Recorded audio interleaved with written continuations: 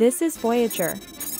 It is an imaginary spacecraft which will take you on a trip to space and all around the Milky Way.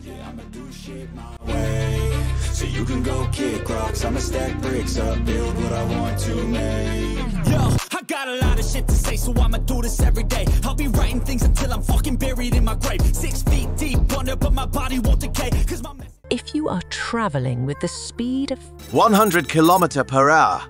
It will take 160 days to travel from Earth to the Moon, 257 years to reach Mars, and more than 5 million years to reach Neptune.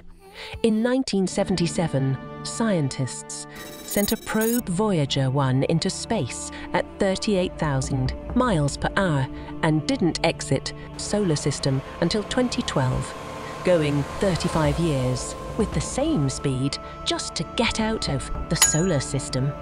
That's insane, but that's just the beginning of the universe we are a part of.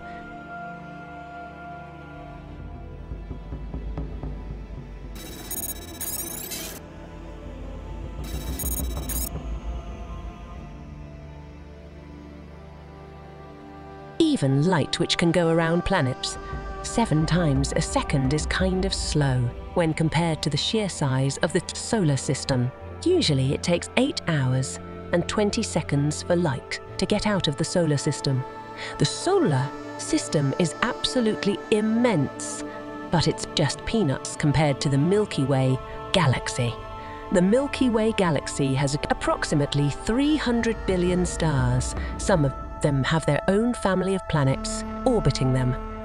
Our closest star neighbour is Proxima Centauri, which is about 4.24 light years away from us.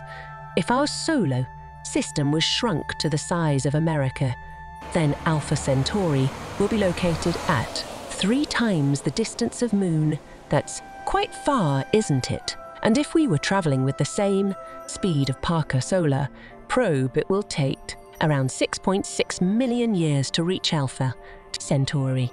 Let's talk about radio waves. Our radio waves have travelled 5.88 trillion miles over the last hundredths years, which is 784 times larger than the diameter of our solar system. These waves have reached 15,000 star systems, just 120 millionth of the stars in the Milky Way. So if any aliens lie outside this range, they are unaware of human life. But again, it's nothing as compared to the universe. And if you see Betelgeuse in the night sky today, which is about 700 times greater than our sun, you are actually seeing the light it emitted a hundred years ago, before Columbus sailed for the New World. If we shrink the size of our solar system to a US quarter, the entire Milky Way will be the size of USA and there would be another 300 billion quarters, which represent other star systems.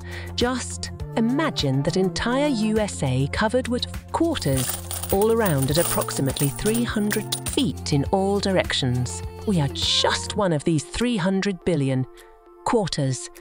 Beyond our galaxy, there are at least one trillion more galaxies. A trillion. It is a million into million. Our nearest neighbouring galaxy is the Andromeda Galaxy, which is 2.5 million light years away, and with the speed of the Parker Solar Probe, it would take approximately 3.97 billion years to reach the Andromeda Galaxy.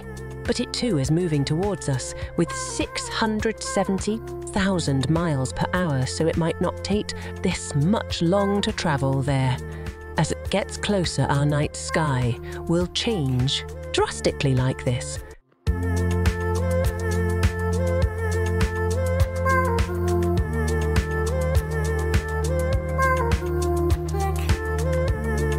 Andromeda has trillion stars, so what if they collide with our stars and planets?